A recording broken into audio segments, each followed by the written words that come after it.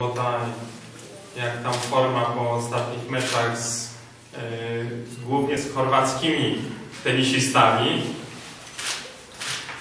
Ja powiem może krótko. Dzień Państwa i mam nadzieję, że e, w ten weekend przełamę złą pasę i będę, będę, jak będę miał 5-4 serwisy, uda mi się zakończyć mecz.